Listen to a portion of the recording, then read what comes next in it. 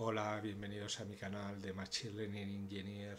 Hoy, siguiendo con la serie de vídeos que estoy grabando sobre MLOps con MLflow, vamos a ver cómo crear eh, y trabajar dentro de MLflow con nuestros propios eh, modelos, con nuestros eh, un modelo que nosotros diseñemos, con como nosotros queramos y cómo podemos guardarlo y luego funcionar o, sea, cargarlo de nuevo y hacer inferencia, tenerlo registrado en el, en el MFlow y luego poderlo distribuir a donde no sea conveniente y poder hacer inferencia con él.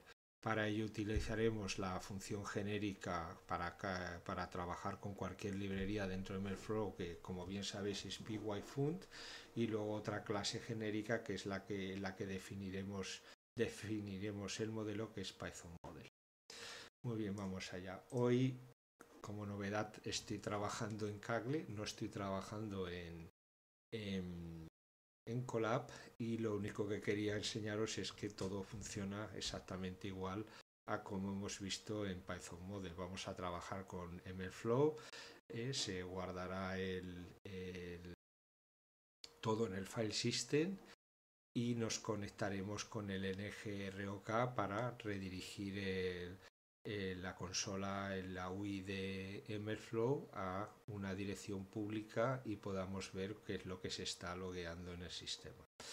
Bien, ¿qué es lo que vamos a hacer aquí? Como bien sabéis, todos los todas las librerías que, eh, que se integran con, con, con MLflow, hay una serie de ellas que ya hemos visto unos cuantos ejemplos de como eh, de Deep Learning, PyTorch y TensorFlow, Scikit-learn, de Machine Learning en general, de temas de Time Series Forecasting, hemos visto SkyTime y Prophet, eh, hemos visto también Transformers, hemos hecho también una em, un fine tuning de un modelo de Transformers, todo ello eh, en, en y hemos visto que en todas ellas se podía utilizar o la clase, eh, la clase específica que, que, tiene creada MLflow para trabajar con esa librería, como pueda ser eh, MLflow eh, Keras o MLflow PyTorch o MLflow Skyline o MLflow Prophet. Cada una de ellas, cada una de estas librerías que se integra de forma genérica con MLflow, tiene su flavor eh, dentro de, eh, dentro de la librería MLflow. Pero adicionalmente también, como hemos visto, hay una clase que se llama PyFun, que es genérica, que trabaja con todas las librerías y que lo único que requiere es una interfaz eh, tiene una interfaz común para todas y bueno, todas las integraciones que se hacen con, con todas las librerías hacen que se pueda, aparte de cargar con el, con el flavor específico de esa librería, se puede hacer también con la PyFun.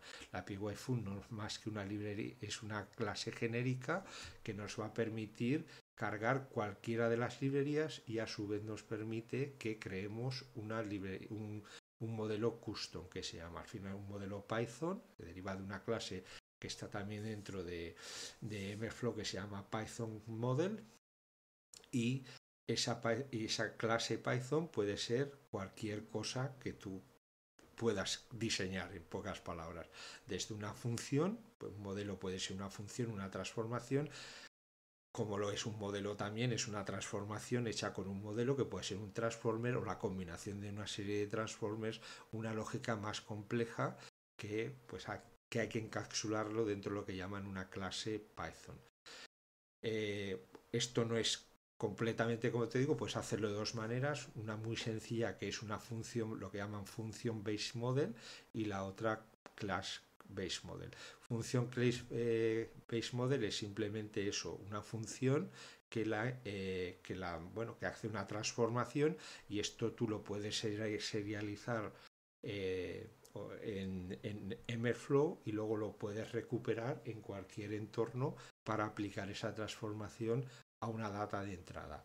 Lo mismo puedes hacer eh, con una, eh, eh, alguna, una transformación mucho más compleja. Cuando me refiero a una transformación es aplicarle, por ejemplo, un,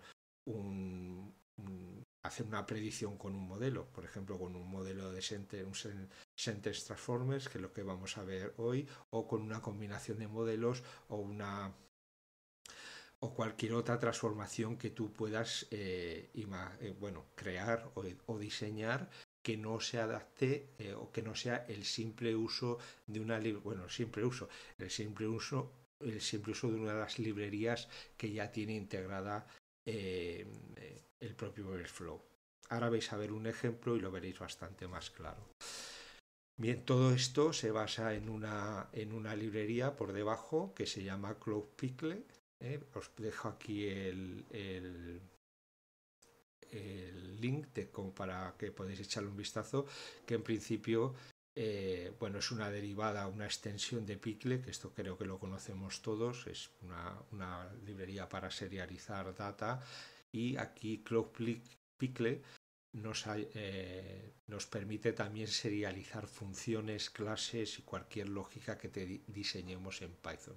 Y nos permite de esta manera distribuirla a cualquier sitio con una serie de limitaciones. Recomiendo que os leáis la documentación pero que esto bueno pues para entornos distribuidos que lo que quieres em, distribuir no solo la data sino también la funcionalidad pues es una librería que se usa bastante. Bien vamos a verlo con detalle y así, eh, bueno, mejor vale una, una, imagen más que mil palabras y vamos a ver cómo funciona esto. Como he dicho, hoy trabajo en Kaggle, vamos a ver cómo esto, luego subiré también el notebook como, como es habitual al repositorio para que podáis probarlo tanto en Kaggle, bueno, como si lo adaptáis lo podréis probar en cualquier otro entorno. Pero bueno, como Kaggle es también gratuito, como lo pudiera ser en todo caso Google Colab. Aquí tampoco vamos a usar una GPU porque el transformer que vamos a usar, el Sentence Transformer es bastante pequeñito, solo para hacer un ejemplo, para ver cómo funciona, pues lo podréis probar tanto en Kaggle como en Google Colab si lo, si lo modificáis. Pues, hay dos par de modificaciones a hacer, el resto es bastante sencillo.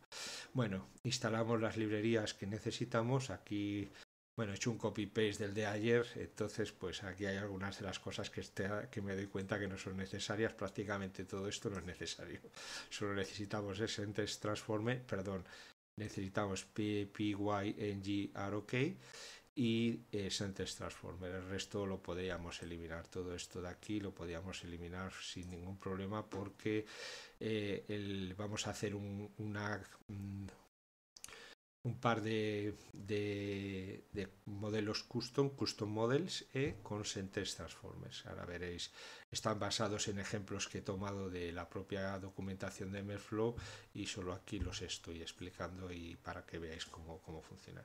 Nos tomamos el, la, el API de la key para acceder a NGROK. Bueno, aquí estamos utilizando los secrets de Kaggle, de Kaggle y eh, bueno, pues es una forma similar a como lo hacemos con Google Colab. La forma de ejecutar el servidor de MailFlow es exactamente la misma y aquí matamos los túneles, eh, cualquier túnel que pueda estar abierto. Como recordaréis, estoy usando la versión gratuita de NGROK, con lo cual solo puedo tener un puerto, un túnel levantado. Nos autenticamos y creamos nuestra, nuestro túnel y eh, exponemos todo lo que eh, está sirviendo en el puerto 5000 en esta dirección IP. Como veis aquí, pues ahí está todo. Eh, estamos conectados al NR, eh, a nuestro servidor Emberflow que hoy lo tenemos corriendo dentro de Kaggle. Bueno, importamos lo que necesitamos y aquí una de las cosas más importantes es importar la librería Python Model.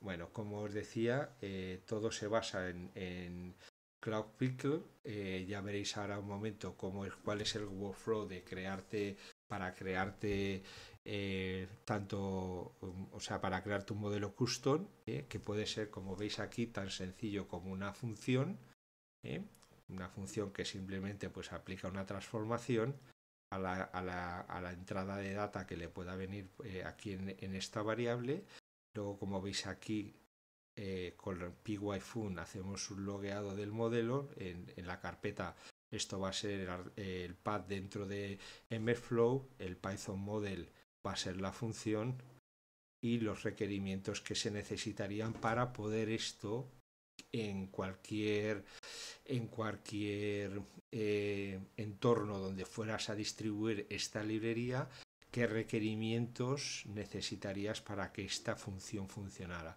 Como veis aquí, esto es una aplicación, esto es una API a un data frame de, de pandas, ¿eh? es un con lambda x y bueno, eh, multiplicándolo por 2.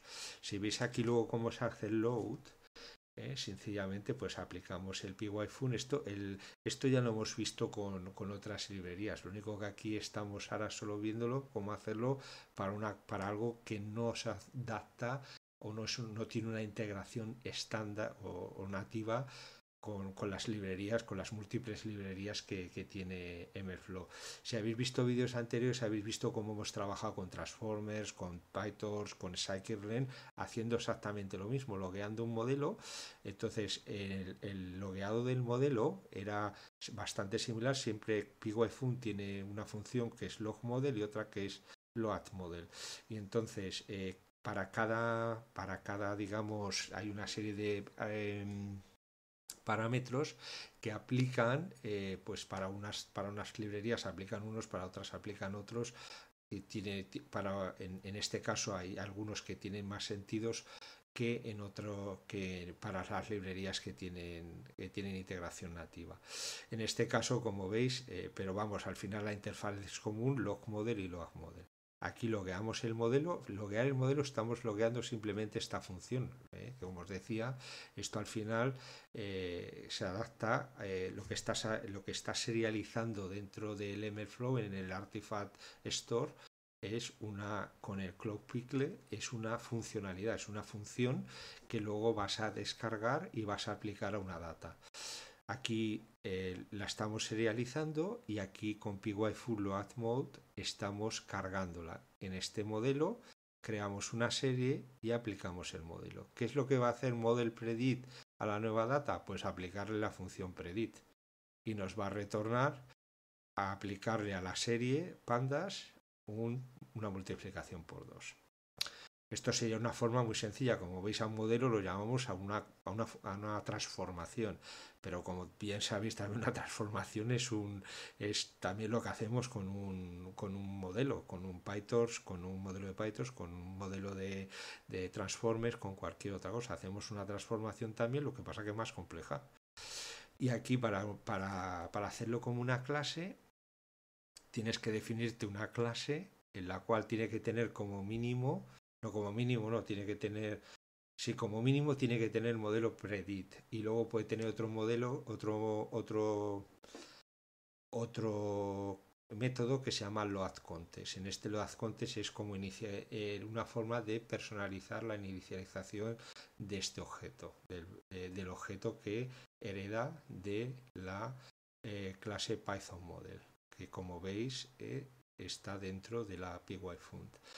¿Qué es lo que vas a hacer? Pues en, principio en el defines un predict cómo quieres que esta clase tuyo custom haga la predicción, pues le pasas el contexto, el contexto ahora veremos cómo lo creas para que os hagáis una idea, es pues parámetros o el modelo, cómo, cómo accede al modelo, etcétera, etcétera modelo, el model input, que sería el texto o lo que le vas a pasar a eh, un, pandas data frame, una serie de un, un array o una lista de, textos, lo que le vayas a pasar, el model input y los parámetros. Si os acordáis cuando hemos trabajado con LLMs, aquí los parámetros le pasábamos la temperatura, el, el máximo número de tokens, etcétera. Y luego pues return X aquí está haciendo una transformación sobre el input, ¿no? Y no usa para nada el contexto ni nada, ni los parámetros porque no hemos pasado nada. Y entonces, como veis, la, eh, el log del modelo al, al MLflow es exactamente lo mismo, lo único que en el Python Model le pasas una instancia de la clase mi modelo y luego lo mismo ¿Qué requerimientos? Pues si tiene algunos requerimientos, como luego veréis más abajo, eh, le pasas todo lo que tú, lo que va a necesitar esta clase. Lo que tienes que pensar es pasarle en el PIP requerimientos, también se le puede pasar un conda YAML, una, un, un, fichero YAML con un entorno conda, que es lo que necesitaría esta función para trabajar en un sistema que tú crearas desde cero, digamos. ¿no? Necesitaría pues la, en este caso pandas, pero imaginar que tenéis una transformación que necesita scikit-learn, necesita sci necesita, no sé, una función eh, eh, o sea, para hacer eh, eh, Levenstein, por ejemplo, la, distancia Levenstein o cualquier otra cosa, pues todo eso se lo pasaríamos en los, en los PIP requirements. Entonces, esto lo que haría, como vais a ver, al final lo que hace es loguearla en tu loguea en los artifacts, loguea el, el modelo como lo hayas definido en, en tus artefactos. ¿no?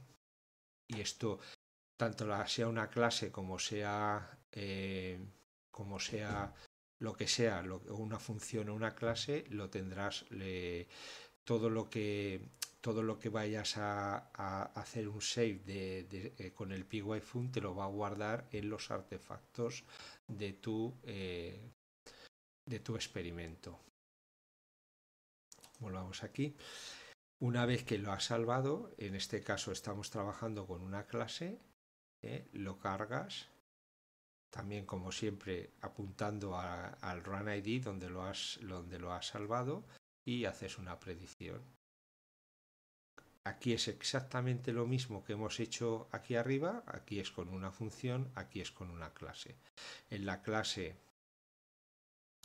en la clase tiene que tener, como os digo, mínimo una función que se llama predit y en, el, y en la función predit eh, aquí en el, en el Python model puedes llamar a otra función cuando, cuando es una función únicamente puede tener otro nombre. Solo tenéis que especificar aquí el nombre de la función que queréis usar para en este modelo.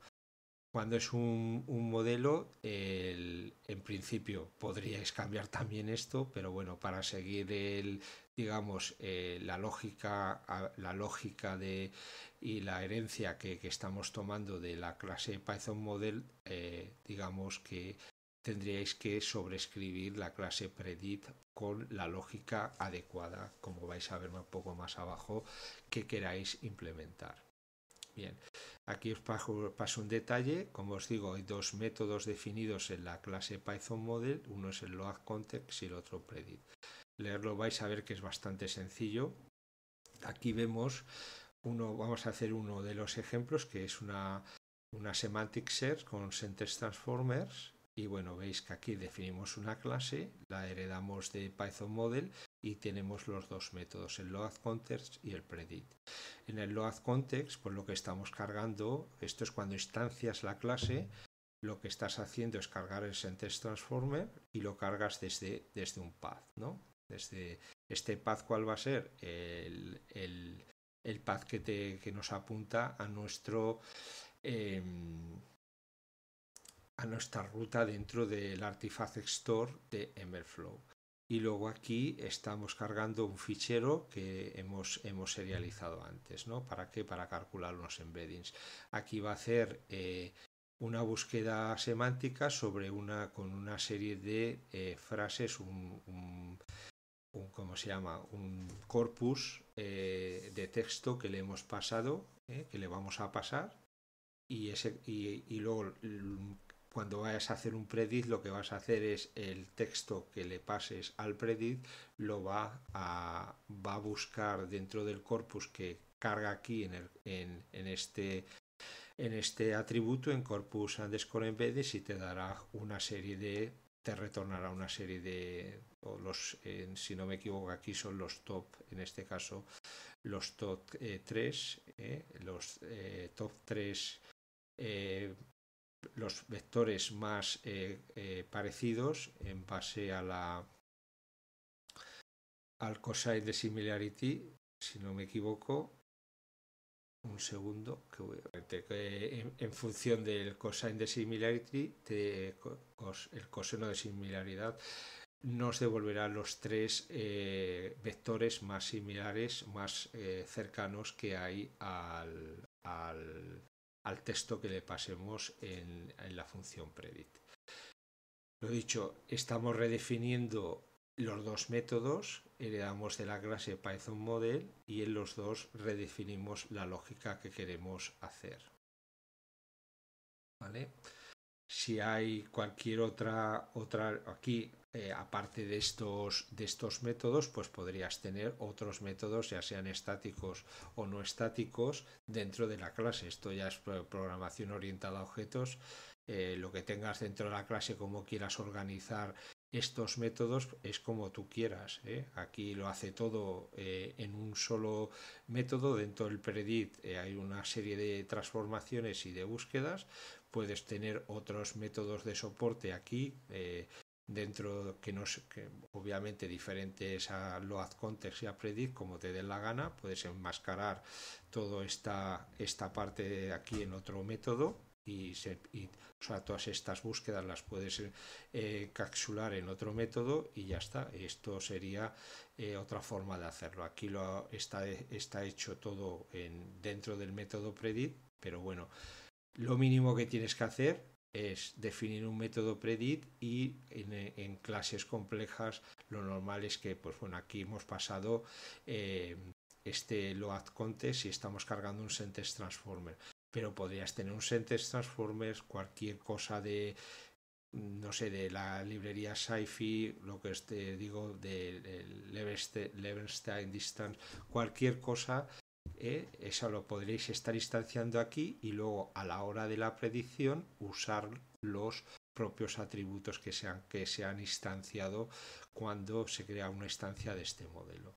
Lo que va a hacer el MFlow es serializar con el Cloud Pickle esta definición en el, en el Artifact Store del, del MFlow y luego cuando la, sal, cuando la eh, hagas un load, eh, esta definición de este objeto se cargará y creará una, una instancia basada en lo que tú hayas creado aquí.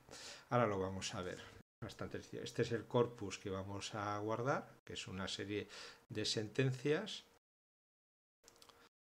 y como veis aquí la guardamos en este caso la vamos a guardar a un a un a una al, ¿cómo se dice? Al, al, a la carpeta de trabajo de, de Cagle. Normalmente todo donde está cuando se está trabajando con un notebook de Cagle pues tiene esta carpeta ya predefinida donde puedes ir serializando y poniendo todos los resultados intermedios de un modelo los logs cualquier cosa que quieras tú hacer pues la pues lo tienes que lo tienes lo puedes poner en, en, cualquier carpeta o colgando de la raíz de esta de esta carpeta que es accesible por este notebook ¿no? aquí lo único que hacemos pues es este, este texto que hay aquí, que es un, en principio, pues es un, un texto largo, son una serie de, de sentencias, pues las cargamos, las guardamos en un fichero, eh, en un fichero TXT que vamos a llamar SearCorpus. Bueno, luego preparamos, eh, vamos a preparar todo lo que necesitemos para pasárselo a, para serializarlo al MLflow. Como veis aquí vamos a crear un sentence transformer con este modelo.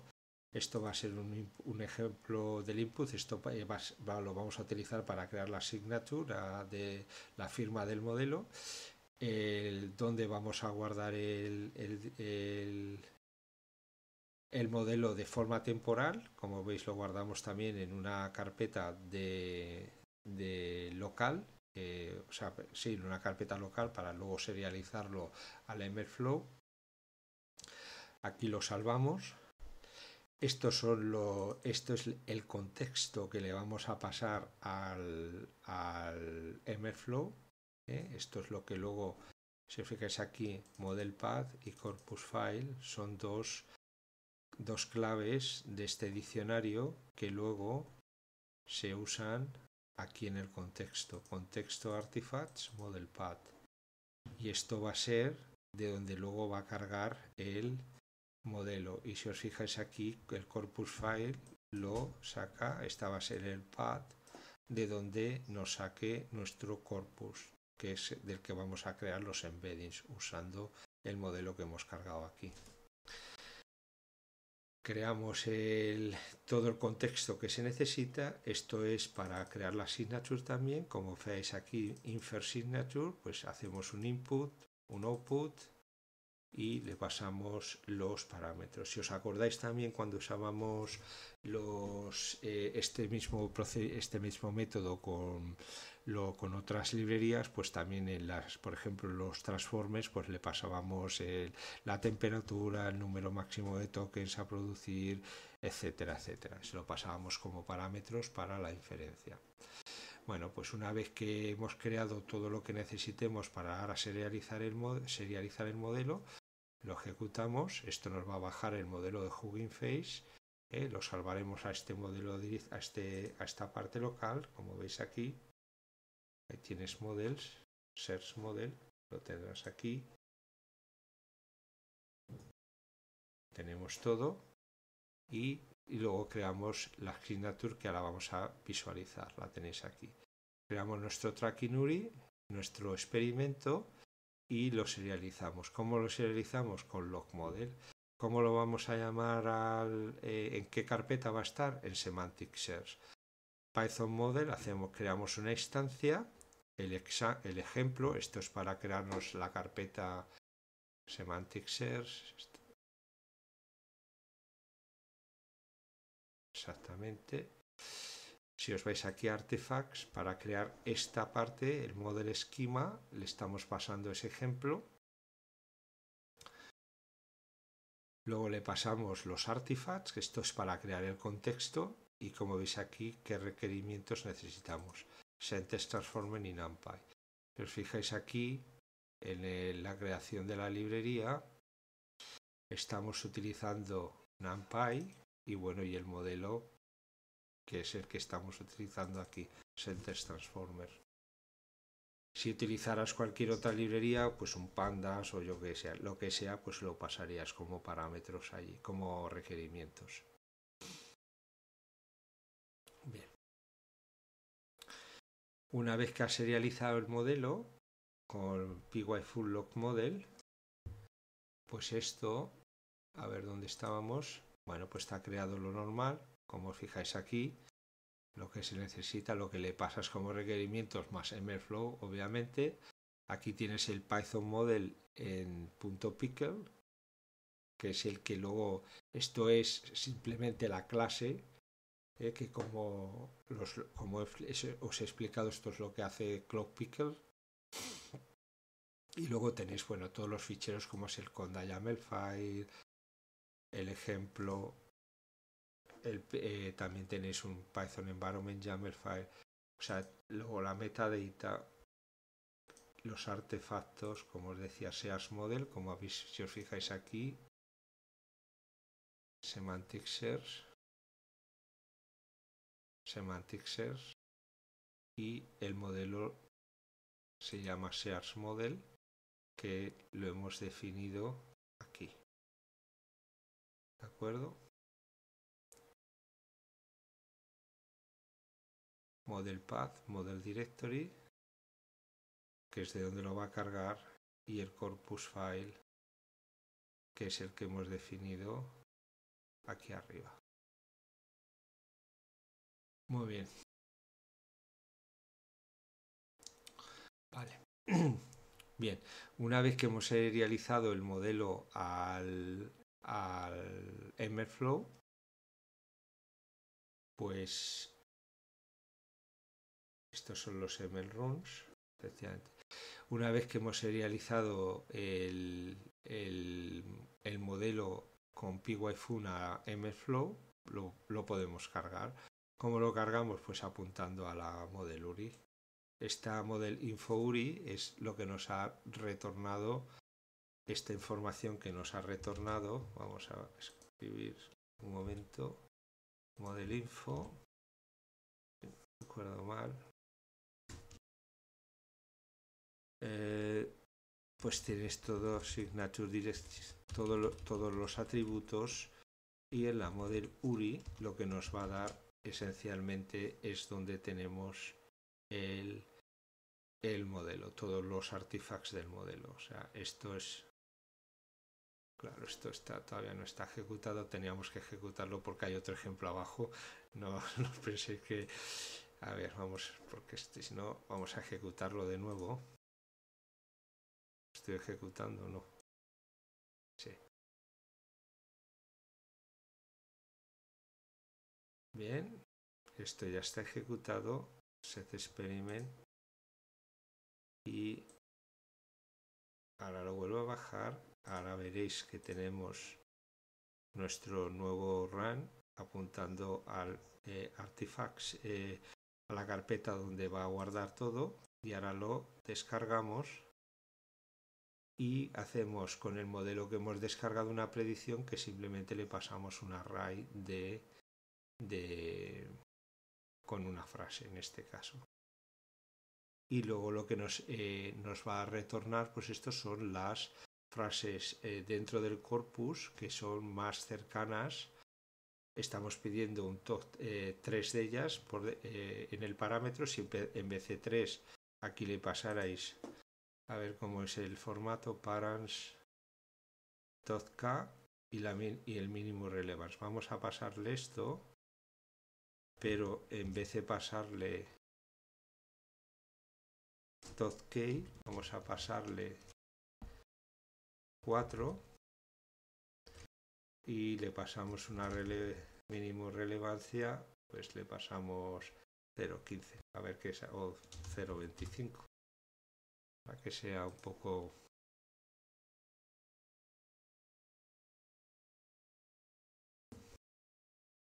Bien, pues ahí lo tenéis, no, hay, no ha sacado 4 porque obviamente no habrá en el corpus que tenemos cuatro ejemplos, solo Aquí podéis jugar con esto.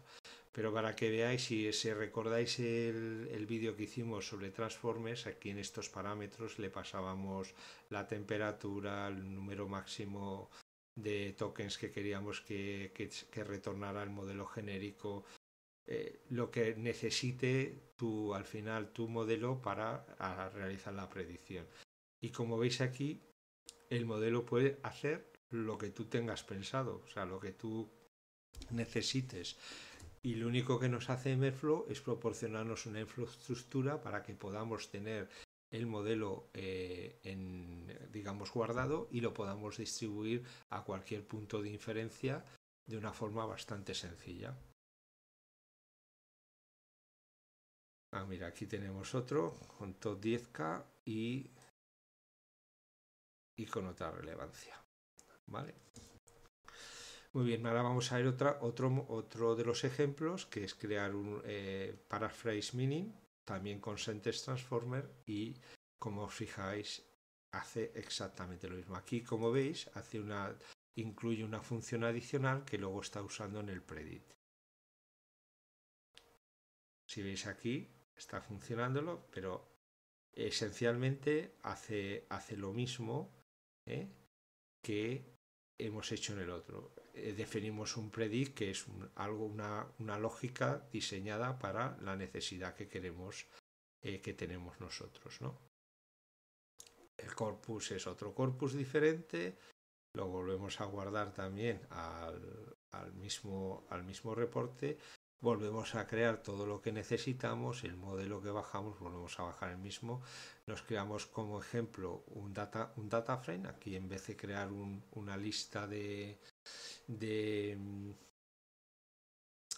eh, de strings, pues lo que estamos creando es un data frame que, que contiene la query y una y una y un string y un array con, con una string. Eh, donde vamos a guardar el modelo, en este caso de forma temporal para que luego lo meta al, para que luego lo suba al MFlow, eh, como cuál es el corpus file, los artifacts, esto es lo que va, lo que nos va a dar el contexto, lo que va a usar en el contexto la clase, como veis aquí, lo mismo que, que hicimos en el anterior modelo, cargará el modelo de este path y cargará el corpus file de este path. aquí vamos a hacer otra cosa diferente, un poco diferente a la que hemos hecho antes, buscar en todo caso esto como, eh, como es un ejemplo de, una, de lo que nos va a retornar el modelo. Esto lo utilizamos tanto el input example como el output example para hacer el, el para inferir la signature. Hacemos model input, input example, output, model output igual al test output que lo tenemos aquí y los parámetros que le vamos a, pasar al modelo. Eh, como os comenté, creo que en otro de los vídeos, eh, todo lo que, o sea, si queréis pasarle un parámetro al modelo, lo tenéis que definir aquí y este será el valor que aplicará por defecto. Si le pasáis un parámetro que no está definido aquí, os levantará o, eh, os saldrá una excepción porque ese parámetro no lo conoce. O sea, cualquier parámetro que queráis pasar a la inferencia, ese parámetro obviamente es algo que vais a utilizar dentro del método predit, ¿eh? como veis aquí. Le pasáis contexto, model input y parámetros. En principio no, pero cualquier parámetro que vayáis a pasar en principio tendrá que estar, eh, digamos, eh, que queráis usar dentro del predit, se tendrá que estar definido en el en el ¿cómo se dice? en el infer signature. Aquí tomamos otro, hacemos otro experimento, vamos a hacerlo ahora también, vamos a ejecutarlos todos porque si no, no vamos a ver. Pasamos el corpus otra vez. Ejecutamos esto. Nos ha hecho una inferencia de, de la firma hacemos un set de nuestro experimento, lo logueamos de la misma manera con el pyfun log model. esta vez lo va a guardar todo bajo la, carpeta para, para model, una instancia de nuestra nueva clase, el input example, la signature, los artifacts y los requerimientos. Ahora mismo, si nos vamos al MLflow, lo mismo que en el otro, acabamos de guardar esto, pues tenemos nuestro modelo. De la misma manera que teníamos el otro. Aquí tienes el modelo en formato pickle y todos los restos de artefacts que hemos guardado. Se ha guardado el sentence transformer aquí, lo mismo. Model 6 tensors. Si no recuerdo mal, esto está aquí. ¿Veis? ¿qué es lo que tenemos aquí?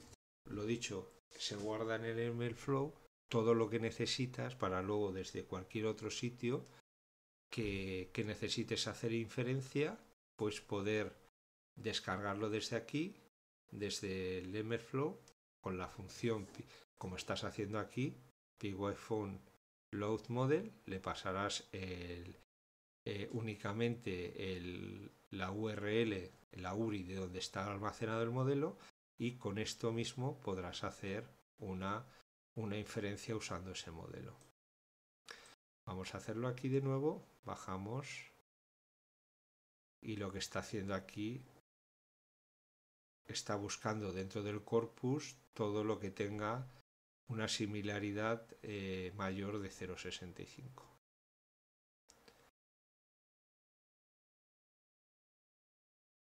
Y como veis, pues el, tema, bueno, es bastante sencillo. Y aquí, bueno, son dos, eh, estamos utilizando también estos ejemplos, como os digo. Eh, en principio los podéis, podéis pensar que son sencillos, podéis complicarlo todo lo que, lo que no necesitéis, lo que no necesite vuestro, vuestro caso, vuestro business case. Aquí se está haciendo dos temas que os pueden servir uno es el paraphrase meaning y el otro es semantic search. Pero bueno, eh, como os digo, esto eh, está hecho con sentence transformers.